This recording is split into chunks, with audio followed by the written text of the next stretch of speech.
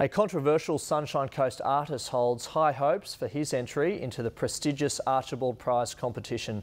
Peregian's Clive Holden today putting the finishing touches on his portrait of Julian Assange. It's a face which has become globally recognisable in the past 12 months. The portrait of WikiLeaks founder Julian Assange, Clive Holden's pride and joy.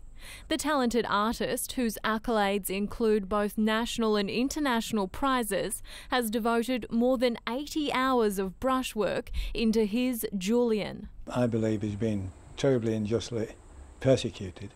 Uh, for doing the right thing. Admitting the inspiration for the entry stems from his own political views, Clive describes the painting as a symbol of both peace and freedom of speech and hopes the work will act as a gateway opportunity to one day meet Mr Assange in person. Assange's mother, Christine, called the Sunshine Coast home until very recently.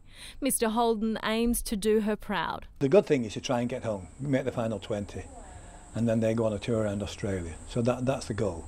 Entries for the Archibald Prize close on the 3rd of June.